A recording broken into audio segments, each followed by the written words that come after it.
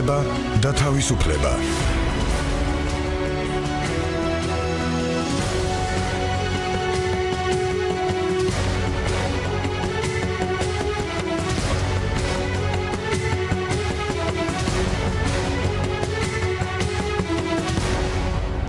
მოგესალმებით ეს გახლავთ გადაცემა უფლება და თავისუფლება მე ვარ მედეა იმერლიშვილი.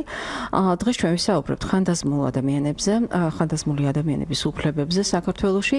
ამ თემაზე სასაუბროთ ჩვენთან სტუდიაში არიან ეკა სხილაძე საქართველოს სახალხო დამცველის მოადგილე ლაშა ჯინჯიხაძე ადამიანით ვაჭრობის ტრეფიკინგის მსხვერპლთა დაზარალებულთა დაცვისა და დახმარების სახელმწიფო ფონდის დირექტორის მოადგილე და უჩა ვახანია არასამთავრობო ორგანიზაცია ორგანიზაციის თაობა დირექტორი და ასევე კოალიცია შინმოულა მოხდა საქართველოსში ხელმძღვანელი. დიდი მადლობა ჩვენ სტუმრებს, რომ მოგზანდით. მე აქვე მინდა შევახსენო ჩვენს მსმენელს, რომ 1 ოქტომბერს ხანდაზმულთა საერთაშორისო დღე აღინიშნება. ამასთან დაკავშირებით გადავწყვიტე, რომ ჩვენი ყოველას ყურადღება მიგვემართა ამ თემისადმი. და აქვე მინდა ყველა ხანდაზმულ ადამიანს მივულოცო ეს დღე წინასწარ და ჯანმრთელობა და დიდი ხნის სიცოცხლე ვუსურვა. ხანდაზმულ პირთა უფლებების დაცვის კუთხით ქვეყანაში არსებული ვითარება ჯერ კიდევ ვერ პასუხობს თანამედროვე გამოწვევებსა და საერთაშორისო მიდგომებს. ხანდაზმულ პირთა უფლებების დაცვის მიმართულებით მდგომარეობა 2016 წელს არსებითად არ შეცვლილა და ისინი ქვეყანაში კვლავ ერთ-ერთ დაუცველ ჯგუფს წარმოადგენენ. ეს გახლავთ ამონარიდი საქართველოს სახალხო დამცველის 2016 წლის საპარლამენტო ანგარიშიდან. აქვე უნდა გავიხსენოთ ისიც, რომ ამავე წელს, ანუ 2016 წელს საქართველოს პარლამენტმა მიიღო საქართველოსი მოსახლეობის დაბერების საკითხებზე სახელმწიფო პოლიტიკის კონცეფცია, რომელიც მოიცავს ქვეყანაში მოსახლეობის დაბერების საკითხზე სახელმწიფო პოლიტიკის ძირითად მიმართულებებს და მიზნებს. აი ეს არის თემები, რომელზეც დღეს ჩვენ სტუმრებთან ის ერთად ვისაუბრებთ. დავიწყოთ მაშინ აი სწორედ ამ თემით ბატონო უჩა თქვენთან მექნება პირველი შეკითხვა. როგორია დღეს საქართველოში ცხოვრები ხანდაზმული ადამიანების უფლებრივი მდგომარეობა რა პრობლემების წინაშე დგანან ეს ადამიანები? ან აქვე შეიძლება ისიც ვთქვათ რა შეცვალათ უნდაც აი კონვენციამ რომელზეც ცოტა ხნის წინ საუბრობდი, რომელიც 2016 წელს მიიღო საქართველოს პარლამენტმა. მოგესალმებით თქვენ და თქვენს სმენელს. სარგებლობს შემთხვევით, როგორც გალბატონო მედია აღნიშნა მოახლოებულ 1 ოქტომბერთან დაკავშირებით და მინდა ყველა ხანდაზმულ ადამიანს, ანუ გაეროს სტანდარტით 60 წელს გადაცილებულ ყველა ადამიანს მივულოცო წინასწარ ეს დღესასწაული და უსურვო ხანგრძლივი, მეტად ხანგრძლივი სიცოცხლე და ხვავრიელი შემოდგომა ცხოვრებისა. ეს შემთხვევით არ მithქვამს, იმიტომ რომ პითაგორას ასე აქვს ნათქვამი, რომ როგორც წელიწადი შედგება სხვადასხვა სეზონებისგან, ასევე ცხოვრება შედგება სხვადასხვა ეტაპებისგან და როგორც წელი არის სრული თავისი 4-ვე სეზონით და ლამაზი და მშვენიერი, ასევე არის ცხოვრება და რა თქმა უნდა ადამიანმა უნდა განვლოს ყველა ეს ასაკი. ძალიან რთული და დიდი კითხვა დამისვით ქალბატონო მედია და მე მინდა ასე ურნაირად გიპასუხოთ. ერთი არის თვითონ ხანდაზმულების დამოკიდებულება თავიანთი ხანდაზმულობის მიმართ და მეორე საზოგადოების დამოკიდებულება მათ მიმართ. სანამ ამაზე ვიტყოდე კონკრეტულად, აქვე ვიტყვი რომ ერთ-ერთი ესეთი მასე დიდ ფორუმზე, სოფლიო ფორუმზე, სადაც შორის როგორც ყოველთვის მარტო ვიყავი საქართველოსდან ასეთი რამე თქვა, რომ თანამედროვე მსოფლიოს აქვს სამი ყველაზე დიდი საფრთხე. ეს არის ტერორიზმი, ენერგოუსაფრთხოება და დაბერება. დაბერება ნამდვილად მთლიანად ცვლის საზოგადოების ცხოვრების ყველა ასპექტს და სრულიად ახალი სამყაროს და ახალი რეალობის წინაშე ვდგავართ. მაგალითად, გეტყვით, რომ ბოლო რამდენიმე ათწლეულის მანძილზე სიცოცხლის საშუალო ხანგრძლივობა გაიზარდა დაახლოებით 20 წლით. აი წარმოვიდგინეთ ნაჩუქარი 20 წელი, როდესაც არც შემიცი რა უნდა გააკეთო 20 წლის მანძილზე და არც საზოგადოება მიცის როგორ მოგიქცეს 20 წლის განმავლობაში. აქვე მინდა ვთქვა, აი დაუბრუნდე იმ თქვათ დამოკიდებულებას ხანდაზმულებისა თავიანთი ასაკის მიმართ ხშირად არის ასე რომ იტყვიან რომ ცუდია სიბერე. სინამდვილეში არის პირიქით. საზოგადოებაც ასე ფიქრობს, რომ სიბერი არის დაკავშირებული განსაცდელთან, სიღარიბესთან, ავადმყოფობასთან, მარტოობასთან და ასე შემდეგ. გუში მქონდა შეხვედრა სხვა შორის ახალგაზრდებთან და სანამ დავიწყებდით თხოვე რომ დაესახელებინათ, ჩამო დაფაზე დავწერეთ თუ რასთან იყო დაკავშირებული სიბერი და უნდა ნახოთ ეს სიარ. ყველაფერი არის უარყოფითი. და მე როცა ჩვენ ვისაუბრეთ და თქვათ რაღაცები განვიხილეთ საკითხები, მე უკვე ბოლოს კიდევ რო დაუბრუნდით ამ თემას, ხომ არ დაუმატებთ მეთქი რამეს, რამდენიმე დადებითი პუნქტი დაემატა. მათ შორის სიბრძნე, რაც ყოველდღე შეუცვლელია. ასე რომ ხანდაზმულობა ნამდვილად არ არის არც ტრაგედია, არც ბედნიერება, თავისთავად ეს არის მხოლოდ და მხოლოდ ბიოგრაფიის ნაწილი და ცხოვრების ნაწილი, პერიოდი, რომლის გარეშეც ადამიანი არ უნდა წავიდეს ამ ქვეყნიდან. ეს არის ცხოვრების შემოდგომა, როდესაც შენი მთელი ნაშრომი უნდა მონაგარი უნდა მიიღო და ისე ამონო, როგორც ზამთარში ადამიანი არ მუშაობს. აქვე გეტყვით, რომ ჩვენ ახლა ვამზადებთ კლიპს და სულ მალე სულ მალე ალბათ ერთ თვეში ამას ნახავენ დაინტერესებული პირები მოკლე ვერსია ალბათ გავა საზოგადოებრივ მაუწყებელშიც როდესაც ლაპარაკი არის სწორედ ამ პითაგორას ციკლებზე აგებული აი ეს ზუსტად ეს არის სიუჟეტი რომ როგორი წება ბავშვობიდან და როგორ მთავრდება სიბერით და როგორი ბედნიერი და მშვენიერია ცხოვრება ყველა ასაკში თუ ამას სწორად აკეთებ რა თქმა უნდა. ძალიან დიდი მადლობა. თქვენ ბოლომდე ვიცი რომ არ გიპასუხიათ ჩემ შეკითხვაზე, მსმენელი გყავს და დიდხანს რომ არ ვალოდინოთ, მოდით მოგისმინოთ და შემდეგ განვაგრძოთ საუბარი. მოგესალმებით გისმენთ. მოგესალმებით? დიახ, ხალო ისმის არაჩენი? დიახ, გისმენთ ბატონო. ძალიან კარგი, ძალიან კარგი და მეც მოგესალმები და ყოველი ერთ გისურვებთ აი ხან დაზმულობასთან დაკავშირებით თქვენ შემოგევლეთ ესე იგი ყველაზე განსაკუთრებული არის ხოლმე ეს არის ღვთისგან ბოძებული ყოველი ის ესე იგი ციკლი ეტაპები აი სასაღრისავს იქ თქვენის თუმას ესე იგი რა არის აქ ახლა პითაგორა პითაგორას ბიბლიას კითხულობ და ალბათ ესობა და ჩვენ ქრისტიანი მართლმადიდებელი ქართველები და შემოგევლეთ ესე იგი ყოველთვის ყოველ წუთში ყოველ წუთს ესე იგი ღმერთო დამახერება და გახ ღმერთმა შექმნა ხილული უხილავ ყველაფერი და ეს ასაკით ასე რომ აი როცა კომუნისტური ფორმაციის პერიოდი იყო. ადამიანები ორივეს ის ესე იგი იყო ისეთი ძალიან ესე იგი კარგი პირობა, რასაც ქვია ეს პლუსი, ეს ყოველთვის ასე უნდა გვახსოვდეს, რა მართლა და ეს თემა მეზობელმა ესე იგი შეინარჩუნა სახელმწიფო, რასაც გაი რუსეთის სახელმწიფო შეინარჩუნა. მამაკაცის ასაკი 60-მდე იყო და დედაკაცების აი დედობის ქესაც იყო 45 და რასაც ესე იგი არაფრად არ აქვს პრემანდელი მთავრობა მიუხედავად იმისა, რომ ესე იგი აი ადულის შესანახი შეექნეს ესე იგი ის ხანდაზმული ხალხი, რომ ესე იგი პენსიაზე აი ამ ასაკებში ორივე სქესისას. რატომ აი კონსტიტუციაში რაღაცას მიეთ მოე ხედებიან ეს დასანანე კეთილი კეთილი ესე კი ესე ისე დაპირებებს და კეთილი თუ დაფიქრებულ ხარ თქვენ შემოგებროთ ჩემთან კი ბატონო, კი ბატონო, მე მგონი გასაგებია დამოკიდებულება. განვაგრძოთ ბატონო უჩა და შეგიძლიათ უპასუხოთ კიდეც. რა კი ქრისტიანობა ახსენებს მენელმა, მაშინ მეხუთე მცნება მოვიტანოთ, რომელიც საგულისხმოა ნამდვილად. პატივიეცი დედასე შენსა და მამასა შენსა, რაითა კეთილი გეყოს შენ და დღეგრძელ იყო ქვეყანასა ზედა. ნამდვილად ასეა სახარებაც. ბუნებრივია ხანდაზმულ ასაკს აქცევს ყურადღებას. მე მინდა უპასუხო ბატონს, რომელიც გამოგვეხმაურა, დიდი მადლობა მას შეკითხვისთვის და კომენტარისთვის, რომ იმასთან დაკავშირებით, რაც მოგახსენეთ, რომ სიცოცხლის ხანგრძლივობა არნახულად გაიზარდა ბოლო ათწლეულების მანძილზე, მთელ მსოფლიოში შეიმჩნევა საპენსიო ასაკის ზრდის ტენდენცია. ანუ არათუ ის 60 და 65, რომელიც ახლა გვაქვს, არამედ ეს არის რთული პოლიტიკური გადაწყვეტილება, მაგრამ უნდა გათანაბრდეს აუცილებლად ქალისა და მამაკაცის ესეთი ტენდენციაც არის თელ სოფლიოში და უნდა გაიზარდოს კიდეც საპენსიო ასაკი. ეს არის გარდაუვალი, ამას ჩვენ გვერდს ვერაულით, რა თქმა უნდა და უფრო მეტიც პენსიასთან დაკავშირებით, ახლა ეს თემაც რა თქმა უნდა წამოიჭრება დღეს და აქვე ვიტყვი ორი სიტყვით, რომ ვიყოთ რეალისტები და ნუ ველოდებით რა იმე მნიშვნელოვან და საგზნობ გარღვევას პენსიების თვალსაზრისით, იმიტომ რომ ჩვენი ქვეყანა ეს დამოკიდებულია ეკონომიკაზე, დამოკიდებულია დამოკიდებულების კოეფიციენტზე, ეგრეთ წოდებული 1950 წელს საშუალოდ განვითარებულ ქვეყნებში 5 ადამიანი ინახავდა ერთ პენსიონერს, დღეს 2050 წლისთვის უფრო სწორედ ეს კოეფიციენტი დაახლოებით 1/1-ზე იქნება. თქვენ წარმოიდგინეთ, ეს არის ძალიან დიდი განსხვავება, სად ხუთმა დასაქმებულმა რომ ერთი პენსია გადაიხადოს და სად ერთმა ერთი პენსია გადაიხადოს.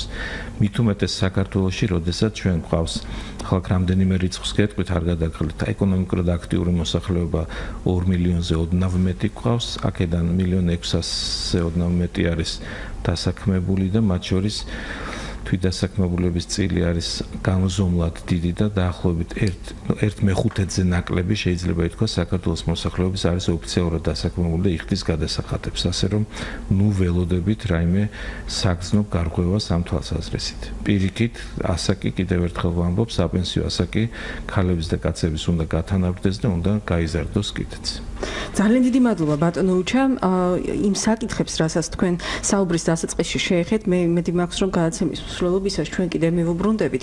ეკა თქვენთან მექნება შეკითხვა. მე გადაცემის დასაწყისში წავიკითხე ამონარიდი საქართველოს სახალხო დამცველის საპარლამენტო ანგარიშიდან, სადაც საუბრობს საქართველოში ხანდაზმული ადამიანების უფლებების დაცვის შესახებ. რა არის რა გახდა იმისი საფუძველი, რომ საქართველოს სახალხო დამცველს ეთქვა, რომ ქვეყანაში არსებული ვითარება ჯერ კიდევ ვერ პასუხობს საერთაშორისო მიდგომებს და თანამედროვე გამოწვევებს ხანდაზმულ პირთა უფლებების დაცვის კუთხით. მოგესალმებით და მივესალმები რადიო მსმენელს. სწორად აღნიშნეთ, რომ ხანდაზმულები კვლავ წარმოადგენენ ერთ-ერთ ყველაზე მოწყვლად ჯგუფს ჩვენ საზოგადოებაში და ეს განპირობებულია იმით, რომ სახელმწიფო სოციალური სისტემა და ასე ვთქვათ, ეკონომიკათი ეკონომიკური გაძლიერებისკენ მიმართული ღონისძიებები არ არის საკმარისი. ასევე ძალიან ხშირია მათ მიმართ ძალადობა და ამაზეც ალბათ მოგვიანებით დეტალურად ვისაუბრებ, თუმცა წინა საკითხს რომ მიუბრუნდეთ, მიუხედავად იმისა, რომ გარკვეული ცვლილებები განხორციელდა, მათ შორის მოხდა საპენსიო, ასე ვთქვათ, უზრუნველყოფისთვის პენსიის მატება, ეს ვერ პასუხობს იმ საჭიროებებს, რაც ხანდაზმულ ადამიანებს განსაკუთრებით მარტო ხელა ხანდაზმულ ადამიანებს ჩვენ ქვეყანაში გააჩნიათ. ასევე ჩვენ საუბრობთ და ვაფასებთ მონიტორინგს უწევთ სახელმწიფო სერვისებს, რომლებიც ხანდაზმულთან მხარდასაჭერად არის მიმართული იგივე პენსიონერთან დაკავშირებით, ჩვენს მიერ მომზადდა ორი წლის წინ ანგარიში იქ არსებული ვითარების შესახებ და შეგვიძლია ვთქვათ, რომ ეს სერვისებიც ვერ პასუხობს მათ საჭიროებებს, რომ აღარაფერი ვთქვათ საზოგადოებაში არსებულ შეხედულებებზე, ოჯახში ძალადობის საკმაოდ გახშირებულ შემთხვევებზე და მინდა გითხრათ, რომ წლიდან წლამდე იზრდება მომართვიანობა სახალხო დამცველის აპარატში ხანდაზმული ადამიანების მხრიდან. ის ფაქტორი, რომ ისინი ვეღარ უზრუნველყოფენ, არ არიან ფინანსური უზრუნველყოფი ოჯახის ან და მათი ასე ვთქვათ, რომ ისუნარიანობის ხარისხი არის დაქვეითებული თუ სხვა ფაქტორებიც განაპირობებს იმას, რომ ისინი ხშირად ხდებიან ოჯახში ძალადობის მსხვერპლი. ეკა, ძირითადად რა არის ხოლმე აი ამ მომართვების რაუდებს საფუძვლად 38 განცხადება შემოვიდა 2016 წელს. და აი ძირითადად რა რა სახის პრობლემებზე საუბრობენ ეს ადამიანები? ხშირ შემთხვევაში მოგმართავენ, როდესაც ფიქრობენ, რომ მათთვის გამოყოფილი სოციალური დახმარების მოხსნა მოხდა არასწორად, ასევე ხშირია ოჯახში ძალადობასთან დაკავშირებით მომართვიანობა, როგორც გითხარით, და ხშირ შემთხვევაში ოჯახში ძალადობის განმახორციელებლები არიან ხოლმე შვილები. ხდება ეკონომიკური ძალადობა, ფსიქოლოგიური, ფიზიკური ძალადობა და სხვადასხვა სახის ასე ვთქვათ, პრობლემები, რაც მათ აწუხებთ. თუმცა ყველაზე დიდი წილი მაინც უკავია იმას, რომ მათი სოციალური მდგომარეობა არის არადამაკმაყოფილებელი, საარსებო შემწეობა თუ პენსია, რასაც ისინი იღებენ, ვერ წუდება იმ საჭიროებებს, რაც მათ კომუნალური გადასახადებისა თუ სხვადასხვა ასე ვთქვათ, საჭიროებებისთვის ჭირდება და აქვე უნდა ითქვას, რომ ადგილობრივი თვითმმართველობების მიდგომაც არ არის ერთიანი და არის განსხვავებული. ანუ ჩვენ გვხვდებით ზოგიერთ მუნიციპალიტეტში პრაქტიკას, როდესაც ხდება გარკვეული სოციალური დახმარების პროგრამების ორგანიზება ზოგადად მოსახლეობისთვის და მათ შორის ინფრასტრუქტურული პროგრამები იქნება სახურავის შეცვლა, გარკვეული საკითხების მოწესრიგება, თუმცა ეს არის სპონტანური, ეს არის დამოკიდებული თავად ამ თვითმმართველობის ასე ვთქვათ შეხედულებაზე და ყველა რეგიონის მიხედვით სიტუაცია და მდგომარეობა განსხვავებულია და მომართვიანობა გვაქვს ხოლმე ამ საკითხებთან დაკავშირებითაც, როგორც არის ასე ვთქვათ საცხოვრებელი პირობები, ზოგადად ეკონომიკური მდგომარეობა. და ასევე მინდოდა მეკითხა თქვენთვის სახელმწიფო ზრუნვის დაწესებულებებში ხანდაზმულთა მდგომარეობის შესახებ, იმიტომ რომ თქვენ სპეციალური მონიტორინგიც ჩაგიტარებიათ და სპეციალური ანგარიში ქონდათ მომზადებული ამ თემასთან დაკავშირებით, მაგრამ სმენელი ყავს. მოდით მოვისმინოთ მორიგი შეკითხვა და შემდეგ განმაგზავნოთ საუბარი. მოგესალმებით თქვენ პირდაპირ ეთერში ხართ. გურიდან ჯემალდობური მოგესალმები ძალიან კარგი გადაცემა ხარ ბატონო რამინდა ვიქცათ იცი მე ასაკოვანი ვარ 75 წელი დეკემბერში შევასრულე და ორი უმაღლესი მაგრამ დამთავრებული 13 წიგნის ავტორი ვარ შინაგან სამსახურის ოფიცერი ვარ და 200 322 ლარი პენსია მაქვს და მე მუშაობდი მუზეუმში მეცნიერ მუშაკად და იგი მოვიდა სოციოლოგიიდან შეგომინება რომ თვითონ მუშაობს ანდანებად თავსო პენსია არ მოგეცემათ პენსია ასერ მომდადილარი მეტია ნახევარ განაგვეძე ვიყავ მაგრამ მე ჩემს ქვეყანა ჩემს ჩემს კალა სახურებო მეცნიერ კვლევებს ვაკეთებდი გამოჩენილ პიროვნებებზე და ხელოვნების მუშაკებზე და მე დავწერე განცხადება წამოვიდი ახლა შეიძლება იქ მუშაობა მაგრამ ახლა ჩემთვის ადგილი არ არის და არ არის ეს კანონი სწორი. ადამიანს მუშაობა შეუძლია რასაკვირველი შეიძლება საკუთარი იყოს მაგრამ გოეთეს ჯანებს ახალგაზრდა რატო უნდა ჩაიგინონ? შეცდომა როცა ჩვენ აკვართ ასაკოვანი ადამიანები მე რომ გამოსილება მაქვს გამოსილებას ახალგაზრდებს ვასწავლიდი და ყოფილიყავ მე მე მუშავა რა იქნებოდა. ა ძალიან ცუდი კანონია ქვეყანაში აი გეტყვით რომ მე აქსპორტებული ვარ და ძალიან გულითი ვარ ვარ იქ ხალხზე კი არ არის საქმე. დასაქმებული ხარ და საზოგადოებისთვის სასარგებლო წევრი ხარ და განაცება და შესაძლებლობა იმას საზოგადოება სახმო. ვერცოთ პროცესს გაიხარეთ პადლოვა რომ ისვენით. გმადლობ თქვენ, ძალიან დიდი მადლობა რომ დაგვერეკეთ. მოდით ეკა ვუპასუხოთ ამ შეკითხვას რომელზეც რომელიც მე დაგისვით პასიონატებთან დაკავშირებით და შემდეგ ალბათ ამ ბატონის დიახ ამ ბატონის ნათქვამსაც ალბათ გამოვეხმაურებით აუცილებლად. აა ჩვენ ვახორციელებთ როგორც გეგმიურ მონიტორინგს, ასევე ინდივიდუალური საქმის წარმოების შემთხვევაშიც ვახორციელებთ გარკვეული ტიპის მონიტორინგის ვიზიტებს ხოლმე რაც შეეხება ხანდაზმულთა განთავსების ადგილებს. ჩვენი მონიტორინგი არ მოიცავდა მხოლოდ სახელმწიფოს ასე ვთქვათ ფონდის ფონდის კოორდინირებაში მყოფ ასე ვთქვათ პანსიონატებს არამედ ჩვენ მოვიცავთ სხვადასხვა თავშესაფარი რომელიც ფინანსდება ადგილობრივი ბიუჯეტის სახსრებიდან. და მინდა გითხრათ რომ სურათი რაც ჩვენ მივიღეთ მონიტორინგის შედეგად იყო შემაშფოთებელი. გამოვლინდა როგორც ძალადობის ფაქტები ასევე არასათანადო პრობის ფაქტები უგულებელყოფა იმ საჭიროებების საბაზისო საჭიროებების რაც პანსიონატში მყოფ ხანდაზმულებს ესაჭიროებოდათ და ასევე პრობლემები რაც უკავშირდება უკავშირდება არასაკმარის რესურსებს, არასაკმარის კადრებს და არსებული კადრების ცნობიერებას და დამოკიდებულებას. ხშირ შემთხვევაში ჩვენ სწორედ ამას ვაწყდებით ხოლმე და ყველაზე დიდი პრობლემა დამას ვხედავთ, დამოკიდებულება იქ მყოფი ბენეფიციარების ხანდაზმულების მიმართ, რაც არ არის დამერწმუნებით, არ არის მიბმული არც ფინანსებზე, არც სხვა ტიპის რესურსებზე, ეს არის მენა დამოკიდებულების თემა, რაც სამწუხაროდ ამ მონიტორინგის შედეგად გამოვლინდა, რომ იყო პრობლემა. პრობლემა იყო ინფრასტრუქტურა, შესაბამისი ზრუნვა, დროულობა, საჭიროებებზე მორგებული სერვისის მიწოდება და ძალადობა, როგორც გითხარით, ეს ესეც ერთ-ერთი შემაშფოთებელი საკითხი იყო, რაც ჩვენ მონიტორინგმა გამოკვეთა. დიდი მადლობა და აი ჩვენთან იმყოფება ბატონი ლაშა ჯინჯიხაძე. ბატონ ლაშა თქვენი ფონდის დაქვემდებარებაში შედის ეს ორი პანსიონატი, სახელმწიფო პანსიონატი თბილისსა და ქუთაისში, თუ არ ვცდები, რომელზეც ეკა საუბრობდა. საინტერესო იქნება თქვენი კომენტარიც. ამ მონიტორინგის შემდეგ, თუ არ ვცდები, დაახლოებით 1 წელი გავიდა. ხომ არ შეიცვალა რაიმე უკეთესობისკენ, რამდენად გაითვალისწინა ფონდის ხელმძღვანელობამ, ან უშუალოდ ამ პანსიონატების ხელმძღვანელობამ სახალხო დამცველის რეკომენდაციები და გარდა ამისა ჩვენს მსმენელს რომ მივაწოდოთ ინფორმაცია რამდენი თავშესაფარი ფუნქციონირებს საქართველოში დაახლოებით რამდენი მოხუცებული იმყოფება ამ თავშესაფარში მოგესალმებით, მოგესალმებით ჩვენს მსმენელს. აა ფონდის დაქვემდებარებაში არის ორი პანსიონატი, ეს არის ქალაქ თბილისში და ქალაქ ქუთაისში განთავსებული. ესენი არიან ასე ვთქვათ დიდი ზომის ინსტიტუციები, რომლებიც არიან უშუალოდ ასე ვთქვათ სახელმწიფო და ადმინისტრაციას უწევს სახელმწიფო უშუალოდ. ისინი არ არიან ვაუჩერული ტიპის დაფინანსებაზე განსხვავებით ვთქვათ სხვა დაწესებულებებისაგან.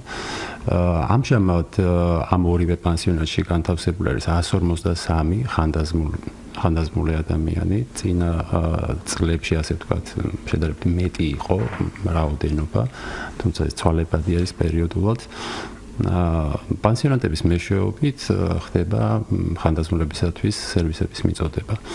რა თქმა უნდა, ჩვენთვის ნაცნობი არის სახალხო დამცველის რეკომენდაციები, ჩვენ სხვადასხვა მიმართულებით მუშაობთ ფონდის სხვადასხვა მიმართულებით და სხვადასხვა მიმართულებით გვიწევს სახალხო დამცველთან კომუნიკაცია და თანამშრომლობა და შეიძლება ვცდილობთ ყოველთვის რომ რეკომენდაციები მივიღოთ და გავითვალისწინოთ.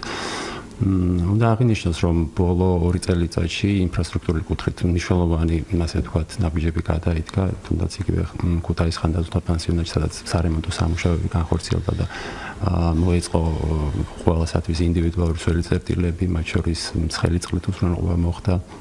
ასევე თბილისის ხანდაზმულთა პანსიონატში სადაც გათბობის სისტემა დამონტაჟდა და ყველა ბენეფიციარს ინდივიდუალურად მიეწოდება ცხელი წყალი რაც ადრე მნიშვნელოვანი პრობლემა იყო. ასევე დამონტაჟდა გათბობის სისტემა მზის გამათბობლების სისტემა რომელმაც შენობაში უზრუნველყო ასე ვთქვათ სითბო რაც ძალიან მნიშვნელოვანი იყო იმიტომ რომ ეს შენობები არის დიდი მოცულობის შენობები და შესაბამისად იქ სითბოს შენარჩუნების პრობლემა ზოგადად იდგა და ხდებოდა ინდივიდუალურად ასე ვთქვათ სითბოს შენარჩუნება სხვადასხვა საშუალებებით რაც ასე უსაფრთხოების კუთხითაც ძალიან ასე ვთქვათ ხო არ იყო მიზანშეწონილი. ნიშნულოვანი ასე ასევე ის რომ თუნდაც თანამშრომლებთან პერიოდულად ხდება გარკვეული ასე ვთქვათ შეხვედრების ორგანიზება ან ტრენინგების მაგალითად გამოყოფთ იგივე ბოლო პერიოდში პერსონალურ მონაცემთა დაცვის კუთხით ჩვენი ცენტრალური ოფისის თანამშრომლება ჩაატარეს ასე ვთქვათ საინფორმაციო შეხვედრა ყველა ფილიალის თანამშრომლებთან ცალ-ცალკე რათა მათთვის მეტი ინფორმაცია მიგვეწოდებინან, იმიტომ რომ ძალიან მნიშვნელოვანია ასევე გავითვალისწინოთ ის, რომ კადრების ხშირი ცვლილებაც ხდება, ანუ ადამიანებისთვის ხდება პერიოდულად რაღაც ინფორმაცია მიწოდება გარკვეული ტრენინგის გავლა, თუმცა ეს ადამიანები ხშირად ტოვებენ და შემდგომ ხდება ახალი კადრის მიღება. როგორ ხვდებიან ეს ადამიანები თქვენთან? ოჯახის წევრებს მოყავთ, თავიანთი სურვილით მოდიან თქვენთან? დიახ, მექანიზმი არის ის, რომ ისინი მიმართავენ სოციალური მომსახურების სააგენტოს. სოციალური მომსახურების სააგენტოს აქვს ბაზა და ამ ბაზიდან გამომდინარე, ვთქვათ, კულები, კულათა სისტემა, რომლის მიხედვითაც ხდება მათთვის რაღაც შესაბამისად, ვთქვათ, 100%-იანი სახელმწიფო დაფინანსების ფარგლებში იქნებიან თუ, ვთქვათ, სხვა პროცენტული შეფარდების დაფინანსების ფარგლებში. ძირითადად რომ ავიღოთ ჩვენი ასე ვთქვათ ხანდაზმული ბენეფიციარებს შორის თითქმის ყველა 100%-იანი ასე ვთქვათ დაფინანსებით არიან რამოდენიმე ერთეული შემთხვევაში შეიძლება იყოს გამონაკლისი როცა როცა მათ ქულა შეფასების ქულათა გამო უწევთ რაღაც თანადაფინანსების ოჯახის წევრები ან ალბათ ჩვილები დიახ ან ხო ალბათ ძირითადად ესეთი შემთხვევა არის შემთხვევები არის ზოგადად უნდა აღინიშნოს რომ რა თქმა უნდა ალბათ მომავალიც ამ მიმართულებით არის ის რომ შედარებით ალბათ სათემო ორგანიზაციების ქსელი კაცლებით უნდა განვითარდეს თუმცა ამ ეტაპზე იმ რეალობის გათვალისწინებით რაც არის პანსიონატებმა უნდა მიაწოდონ ის სერვისები რაც გვაქვს ჩვენ შინაგან წესით უდებულებით იქნება გათვალისწინებული დიდი მადლობა ბატონ ლაშა. სათემო ორგანიზაცია რამდენია საქართველოში, რომელიც უშუალოდ ხანდაზმულებისთვის მუშაობს და რით განსხვავდება პანსიონატებისგან? ზუსტი რაოდენობის დასახელება გამიჭირდება, რადგან რეგიონების მიხედვით განსხვავებულია სურათი, თუმცა ჩვენ ჩვენი მონიტორინგის დროს ხუთი მათგანი შევისწავლეთ სხვადასხვა რეგიონში ფუნქციონ, რომელიც ფუნქციონირებს და რომელიც ოპერირებს. თუმცა ორგანიზაციები, რომლებიც ასე ვთქვათ, ჩართული არიან ამ მუნიციპალურ სერვისებში თავშესაფრების კუთხით არც თუ ისე ბევრია და ვერ პასუხობს იმ საჭიროებებს, რაც ამ მიმართულებით არსებობს, ამის თქმა გადაჭრით შეგვიძლია და ასევე ღონისძიებები, რაც ამ ადამიანების რეაბილიტაციის ინტეგრაციისთვის ხორციელდება, ამის სიმცირეც ნამდვილად არის. ალბათ ბატონი უჩა უფრო კონკრეტულად იტყვის ამ მიმართულებით. მინდა დავუმატო ამ საკითხთან დაკავშირებით ასეთი რამ, რომ იმის გამო რომ ხანდაზმულთა დაბინავებისა და მოვლის ოჯახიდან გაყვანის შემთხვევაში საჭიროება უბრალოდ მოთხოვნა იზრდება. ბოლო პერიოდში ეს სოკოებივით ჩდება ეს სხვადასხვა კერძო დაწესებულებები. და ამასთან დაკავშირებით მინდა თქვა რომ ეს არის მნიშვნელოვანი საფრთხე იმიტომ რომ სახელმწიფო ამოწმებს მხოლოდ იმ დაწესებულებებს, სადაც თვითონ ყიდულობს მომსახურებას. თუ არ ყიდულობს მომსახურებას, ეს ადამიანი რჩება ეს დაწესებულება რჩება სრულად კონტროლის მიღმა.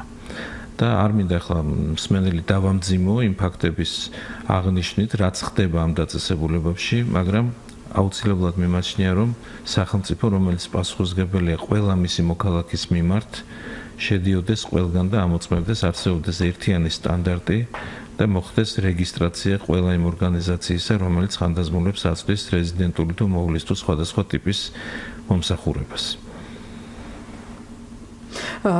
ბატონოჩა აქვე თქვენს კოალიციაზეც რომ გითხრათ 2-20 სიტყვით შინ მოვლის როგორ ქვია უკაცრავად? კოალიცია შინ მოვა საქართველოში. და თქვენს ორგანიზაციაზე თაობა. უშუალოდ თქვენ რა სახის მომსახურებას თავაზობთ ხანდაზმულ ადამიანებს რა შინ მოვლა საქართველოში ეს? თქვენი კოალიცია ახორციელებს მხოლოდ აი ამ სერვის თუ არის კიდევ ამ დაგვარი სერვისის შემთავაზებელი სხვა ორგანიზაციები კოალიცია არ გახლავთ სერვისის მიმწოდებელი, ეს არის სერვისის მიმწოდებელი ორგანიზაციების გაერთიანება, რომელიც ლობირებასა და ადვოკატირებას ეწევა და ხანგრძლივი მოვლის სისტემაში რა მიღწევებიც არის ქვეყანაში, რა ნაბიჯებიც არის გადადგმული, მათი უმეტესობა სწორედ შინაულის კოალიციაში გაერთიანებული ორგანიზაციების დამსახურებაა. თუმცა მაინც ძალიან ჩამორჩი და გაცილებით მეტია გასაკეთებელი, რაც შეეხება თვითონ ორგანიზაციებს, რომლებიც აწვდიან მომსახურებას, აქ არის მრავალფეროვანი მომსახურებები, დაწყებული თქვა დღის ცენტრებით, პალიატიური მსროლელობით, ჰოსპისით, ბინაზე მოვლით, ანუ შინ მოვლით და უშუალოდ განტვირთვის მოვლა და სხვადასხვა ხანძრი მოვლის სხვადასხვა დაწესებულებები.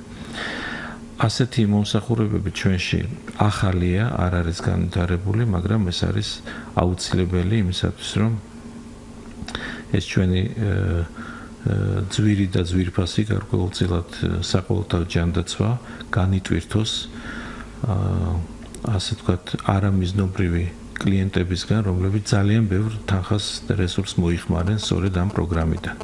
მე მარტივად გეტყვით, აი მაგალითს მოგიყვან და უშოთ ადამიანი, რომელიც მოუვლელია სახლში, მოუვლელობის გამო ჩდება სხვადასხვა ვითარდება სხვადასხვა გართულებები, როგორც არის მაგალითად ნაწოლები, საშარდეგზების ინფექციები, ფილტვის ანთება, კონტრაქტურა, ნაწოლები, თრომბოზები, ნაწოლები გითხარით, თქვა, სოკოვანი დაავადებები და სხვა და სხვა. ბოლოს მომარობა მძიმდება იმდენად, რომ ადამიანი იძახებს რაკი არ არის სათანადო მომსახურება განვითარებული, იძახებს ძვირ სასწრაფო დახმარებას, ამ ერთ ძვირ მომსახურებას გადაყავს კიდევ უფრო ძვირ ჰოსპიტალურ დაწესებულებაში, სადაც თქვა თუ რეანიმაციაში მოხდა ის პირველ 2 დღეს და 3 დღეს იმდენ თანხას ხარჯავს, რამდენიმე 1000 ლარს, რომელთაც ის რამდენიმე წლის განმავლობაში შეიძლებოდა მოვლილიყო სახლში და აქამდე არ მისულიყო მისი მდგომარეობა. ასე რომ ხანგრძლივი მოვლის განვითარება და განსაკუთრებით კი შინ მოვლისა მეტად საშურია და ეს არის ის უნიკალური შემთხვევა, როდესაც ახალი სერვისის დანერგვას არ სჭირდება რესურსი პირიქით. მას შეუძლია არსებული რესურსის ფარგლებში, თქვათ, მიაწოდოს მომსახურება და გამოათავისუფლოს პირიქით რესურსი უფრო სხვა პროგრამების დასაფინანსებლადაც კი. ეს ყველაფერი გარკვეულწილად უკვე ასახულია ზოგიერთ დოკუმენტში. მათ შორის ჯერ დაუმტკიცებელ სამოქმედო გეგმაში ხანდაზმულებთან დაკავშირებით კონცეფცია დამტკიცებულია, მაგრამ სამოქმედო გეგმა არ არის ჯერ დამტკიცებული. ასევე საქართველოს პარლამენტის ჯანდაც კომიტეტ რომ ბოლო პერიოდში გამართა შეხვედრების სერია ფართო ჩართულობით სხვადასხვა მხარეების და შეიმუშავა დოკუმენტი ბოლო ვერსია ჯერ არ გვაქვს იქაც შეტანილი არის ხანგრძლივი მოვლის განვითარების აუცილებლობა. ეს გახლავთ ხას გაუსვა დასავლეთ ქვეყნებში ჯანდაცვა სოციალურ დახმარების სისტემის ერთ-ერთი ყველაზე დიდი და ყველაზე სწრაფად ზარდი სეგმენტი. ძალიან დიდი მადლობა ჩვენ მსმენელი ყავს. მოგესალმებით. გამარჯობა. გამარჯობა. მე კარიერა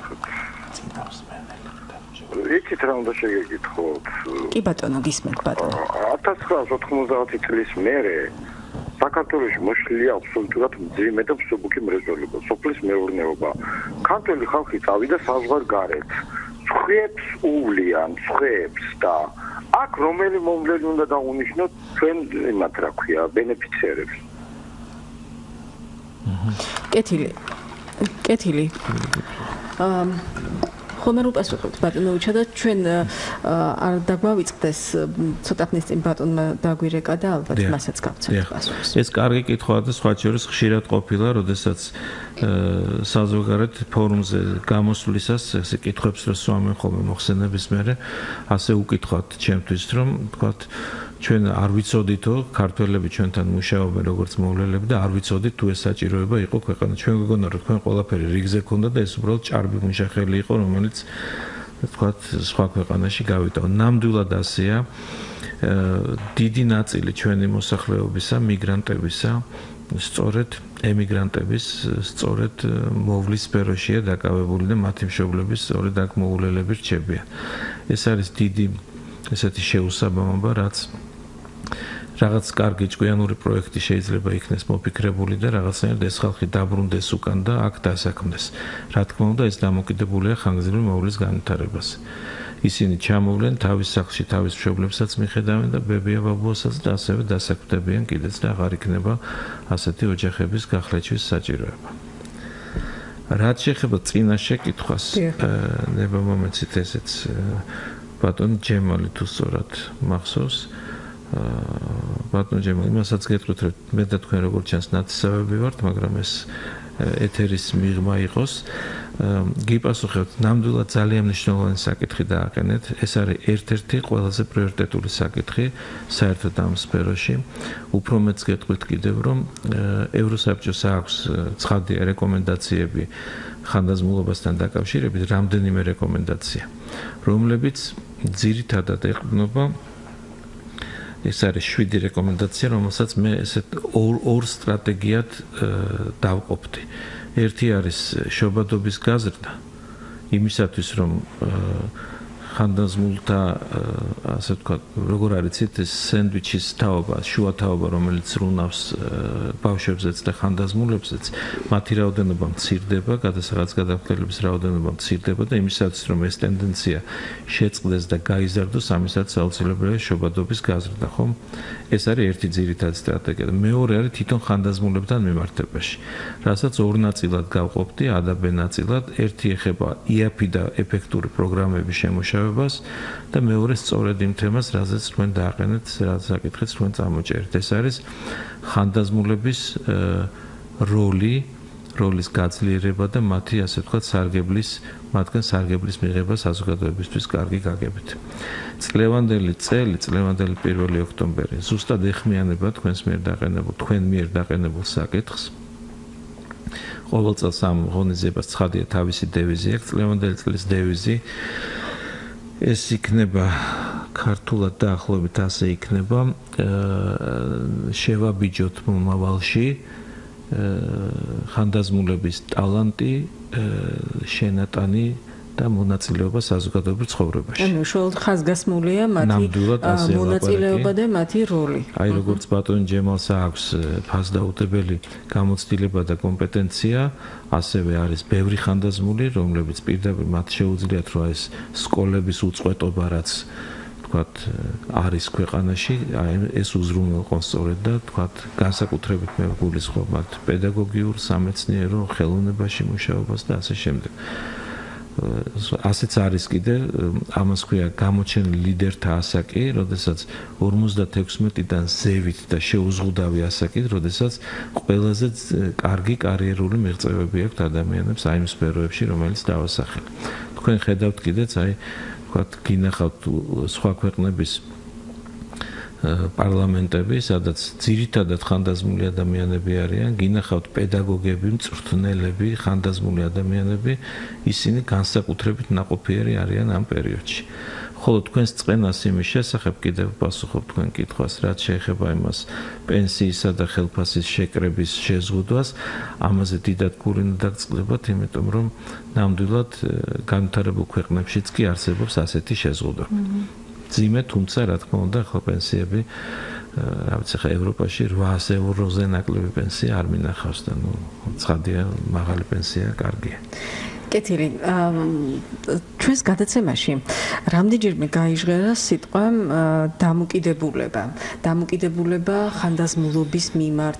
აი თქვენ გადაცემის პირველ ნაწილში ბატონოჩა ბძანეთ მოიყვანეთ მაგალითად ახალგაზრდებისთვის დასმული შეკითხვა ამ თემასთან დაკავშირებით, ხო? და აი რას მოიაზრებდნენ ისინი ამ ცნებაში ხანდაზმულობაში რა რა წარმოდგენები ქონდათ ხომ ხანდაზმული ადამიანების ცხოვრების თუ როგორ ვთქვა შესახებ საინტერესო იქნებოდა ალბათ ჩვენს ქვეყანაში იგივე კითხვა რომ დაესვათ უშუალოდ თვითონ ხანდაზმული ადამიანებისთვის და მათი პასუხიდან გამომდინარე ალბათ შეგვექმნებოდა კიდე სურათი იმის შესახებ რა რეალობას თავაზობს მათ ჩვენი საზოგადოება, ხო? კი, ჩვენ საკმაოდ ხშირად ვამბობთ ამის შესახებ, რომ ხანდაზმულები არის საზოგადოების ის ჯგუფი, რომელიც გარიყული ერთგვარად სმენელს მოვუსმინოთ. მოდით მოვუსმინოთ მაშინ რომ არ ვალოდინოთ და გისმენთ პირდაპირ ეთერში ხართ. გისმენთ ბატონო. ალო. გისმენთ ბატონო, პირდაპირ ეთერში ხართ? მოვისმენთ თქვენ შეკითხვას. დიახ, დიახ, გისმენთ ბატონო. მე ისევ შეგეხმიანებით, მაგრამ ძალიან გთხოვთ, რომ ესე იგი არ გათიშ, თქვენ გათიშეთ. თქვენ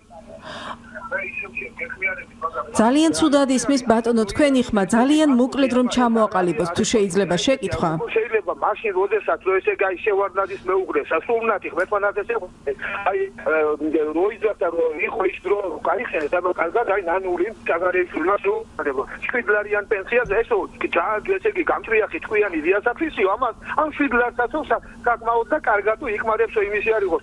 აი საარსებო მინიმუმზე ნაკლები არის წარმოვიდგოთ 180 და თან კიდე წეგან გამოსულები შემოვივალ ხა თქვენი ქართველები არიან რომ აი რამხელა როგორ როგორი ყვაწმოსილი ადამიანი ამერიკის ავტორი აი ესეთი ისი განათლების და ცოდნის დავსე და თანაბარი ექნეს ყველას პენსიერას და თან კიდე რომ ვიღაცას უძარებს თავს საზოგადოებრივ ქვეყნებს რომ ესე გითხროს აი ხუთი კაცი ინახავს დღეს საქართველოს ხუთი ესე დასახლებულ კაცი ინახავს ერთ პენსიონერს 700000 არის პენსიონერი მაგრამ შეიძლება მილიონი აქვს რა რატო არ შეიძლება აი ნანუაშვილი საკალკო დავსოდი აი თქვენი სუმარო ბზანდები შედავლოცილო მოდი 100000-იან დოლარიან მანქანის რო ძადისო ხო შეიძლება ეს განიკარგოს ადგილობრივ თვითმმართველობა რო დირექტივების განახით არ იყოს ასე აი ყველაფერ ამას უნდა მიიქცეს ესე იგი მართლაც არსებითი არა ლოიალური ასე პასუხი ესე იგი ადეკვატური კეთილი კეთილი კეთილი ძალიან ცოტა დროა დარჩენილი გადაცემამდე სამწუხაროდ იძულებული ვარ რომ ამჯერადაც დაგემშვიდობოთ დიახ თუ შეიძლება ეკა და სახალხო დამცველი როგორც ბატონმა აღნიშნა თავის ყველა ანგარიში გამოსვლაში თუ განცხადებაში პირველ საკითხად აყენებს ამას რომ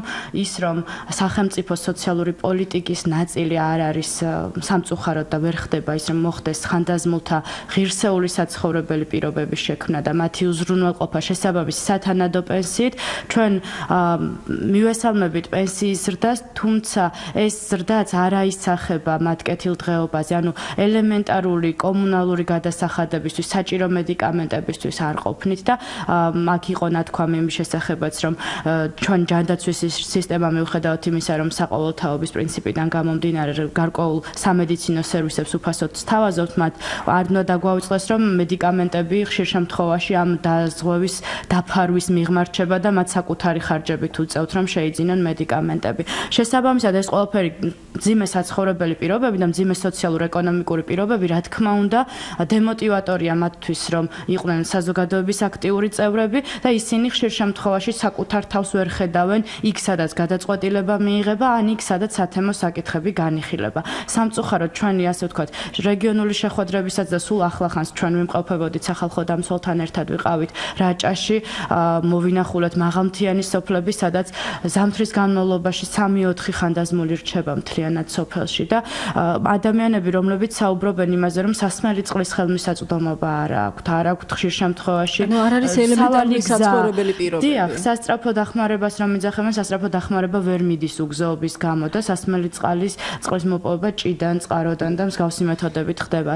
რა თქმა უნდა, როდესაც საუბრობთ ჩვენ ამ ადამიანებზე, უნდა ვისაუბროთ იმაზე, თუ რას თავაზობს სახელმწიფო მათ, რომ იყვნენ საზოგადოების ღირსეული წევრები და შესაბამისად ეს რა თქმა უნდა, როგორც ვთქვი, არის დემოტივატორი იმისთვის, რომ მათ იქცნონ თავი ამ საზოგადოების ნაწილად და იყვნენ ჩართული იმ გადაწყვეტილებების მიღების თუ იმ ზოგადად აქტივობების პროცესში, რაც ყველა მოქალაქისთვის თანასწორად უნდა იყოს ხელმისაწვდომი. ძალიან დიდი მადლობა ეკა ბატონლაშა ჩვენი გადაცემა სრულდება გადაცემის დასასრულს ხომ არ გსურთ რომ ორი სიტყვა კიდევ დაამატოთ თქვენ იმიტომ რომ აქ სხვადასხვა თემები გაიშალა. საკმაოდ საინტერესო საუბრები ყავს ასე სიამოვნებით. მე უბრალოდ ერთ აღნიშნავ რომ ასევე აა მიუხედავად იმისა რომ თითოეულ ჩვენს ინსტიტუციაში არის ასე თქვა რაოდენობრივად ბევრი ხანდაზმული ადმინისტრაცია მაინც ცდილობს თავისი რესურსები, თავის შესაძლებლობის ფარგლებში, რა თქმა უნდა, ცენტრალური ოფისიც რომ მოხდეს ამ ხანდაზ ხანდაზმულებისათვის ასე ასე ვთქვათ, მეტი კომუნიკაცია, იგივე თქვენ წეგან აღნიშნავდით ახალ ახალგაზრდობასთან დაკავშირებით. ძალიან ხშირია სტუმრობა ჩვენს პანსიონატებში, საბავშვო ბაღებიდან, საჯარო სკოლებიდან, იმართება სხვა სხვა ღონისძიება.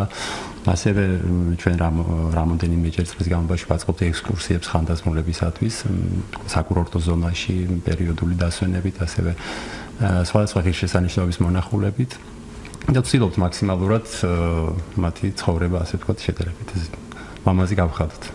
კეთილი, ძალიან დიდი მადლობა. მათი ჯანმრთელობის მდგომარეობა, მათი ასე ვთქვათ სირთულეები მათ ყოველ შემთხვევაში უფრო დიდწილად ჯანმრთელობის კომარებს დაკავშირებით პრობლემები ასე ვთქვათ არ იძლევა ყველაფრის სრულად გადაწყვეტის ამ მოგვარების საშუალებას. ძალიან დიდი მადლობა მინდა გადაგიხადოთ, დიდი მადლობა. სრულდება გადაბაცილეთ უკვე სამწუხაროდ ძალიან მოკლედ მაშინ ბატონო. დიახ, რა თქმა უნდა.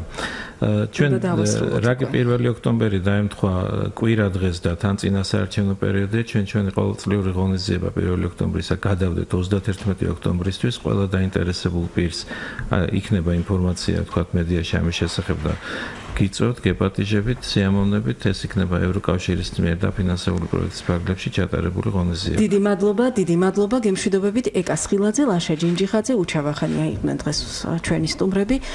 მე და აიმერლიშვილი მუშაობდა სტუდიაში მომდევნო ხუთშაბათამდე ნახვამდის.